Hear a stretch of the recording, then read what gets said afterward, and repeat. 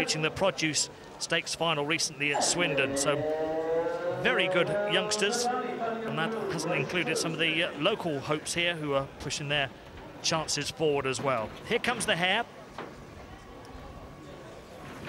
And away we go, racing up towards the first bend. Fast start from Exciting Ant on this near side. Better pace, though, from King Lee.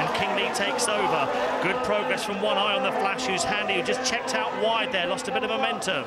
So King Lee leads here for Tony Taylor. It's the locals out in front. Exciting Ant in second. But here comes Eye on the Flash coming again. Moves up into second. Then comes three, Troopy's Flow.